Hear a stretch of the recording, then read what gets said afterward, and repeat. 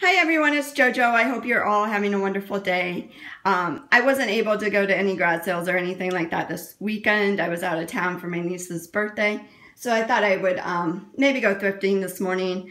Um, I stopped at two different Goodwills and did find some really cool things. Um, actually, a couple of the pieces I had looked at previously, like within the last couple weeks, but they were kind of expensive and they were up by the um, the glass case. They were locked in a, a case up by the register. So um, I was excited when I saw today that they were half off. So I'll show you those. Um, the first item I want to show you, I have never seen this done this way before. It is a vintage tea strainer.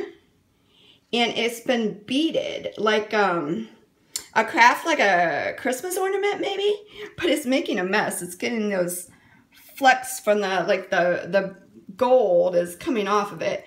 But I thought it was really interesting. I paid $1.29 for it. And let me show you the inside, like how it was done. The inside, the beads were sewed, like they sewed them through the holes of the strainer, which is really interesting. Let me know if you know when this might have been a popular thing to do. I'm thinking maybe 60s, 70s maybe, or if you've ever done it. Um, I wasn't familiar with this craft at all, and I have no idea what I'm going to do with it. I just thought it was so interesting, and I just went ahead and picked it up. Um, the next thing I thought saw, uh, the next thing I bought, sorry, I had not seen at the Goodwill before. I am familiar with them. I've seen them before, but just not um, at the Goodwill. I paid a dollar twenty-nine for it, and it's a, a vintage portable ashtray.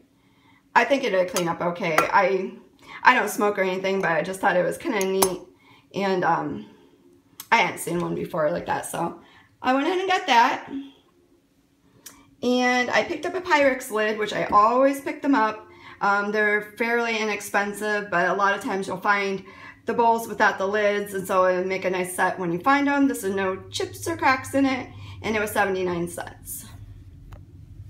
This turquoise bowl is actually uh, one that I'm excited about. I paid $5 for the set, and it was in the glass um, display case. Um, the candle holder does have a chip in it.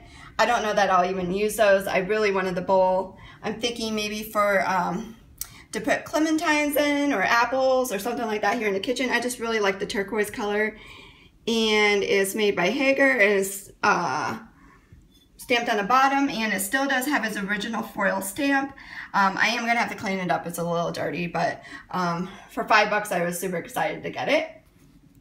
I paid $1.99 for this vase. It's a milk glass vase with the green dots peeking through. I just thought it was really pretty.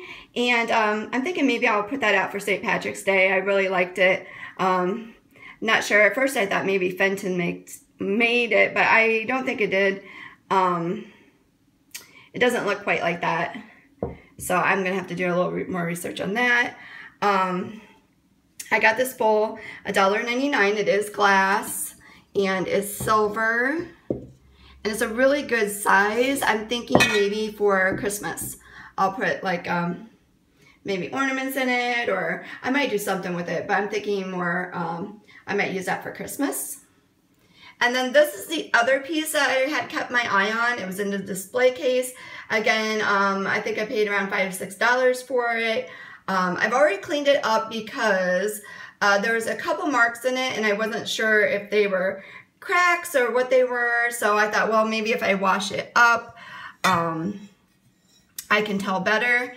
And I don't see any cracks or chips, but there is the mark here that um, definitely um, just a defect from manufacturing. But overall, I mean, it was in good condition.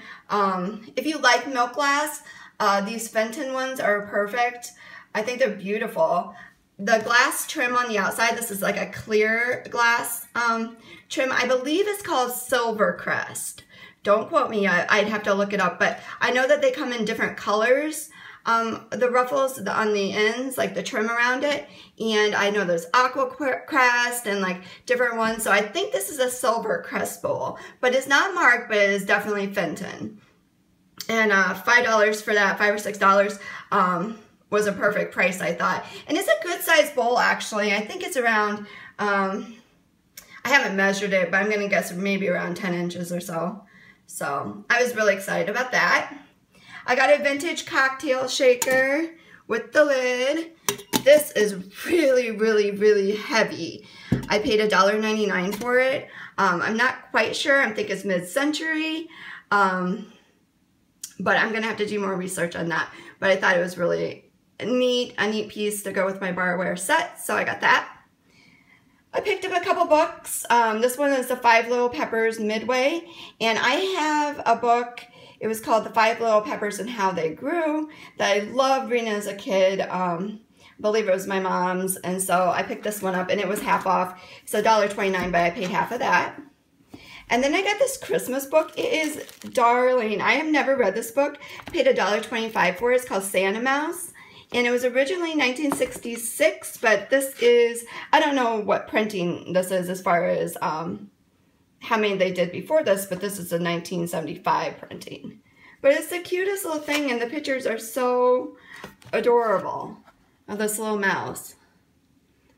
So I'm excited about that book. And then I just picked up a reference book. This is the Collector's Encyclopedia of California Pottery. And this was half off too. Uh, there it is. Uh, it was a dollar 29 also, but I paid, it was half off. I picked up this puzzle, a Superman puzzle from 1983, 100 pieces.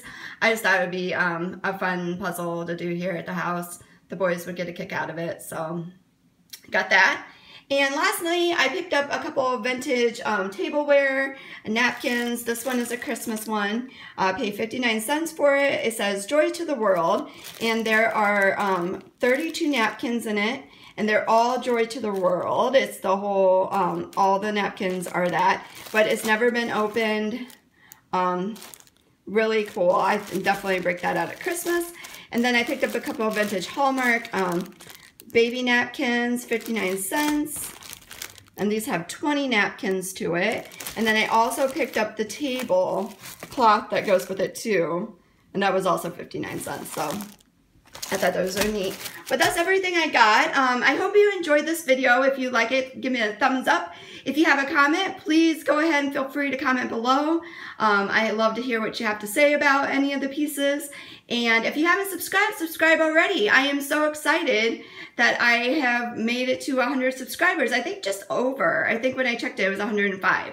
So I'm really excited about that, you guys. I um didn't know when I started making the videos if anyone would watch them at all. I'm basically doing it because I love vintage items and antique things, and I thought somebody out there probably feels the same. So, so thank you very much um, to anyone who are watching my videos. I really, really do appreciate it. So I hope everyone has a great day and I will talk to you soon and hopefully I will get to um, maybe go to some garage sales this weekend. Um, so we'll see. So thanks so much and I will talk to y'all soon. Bye.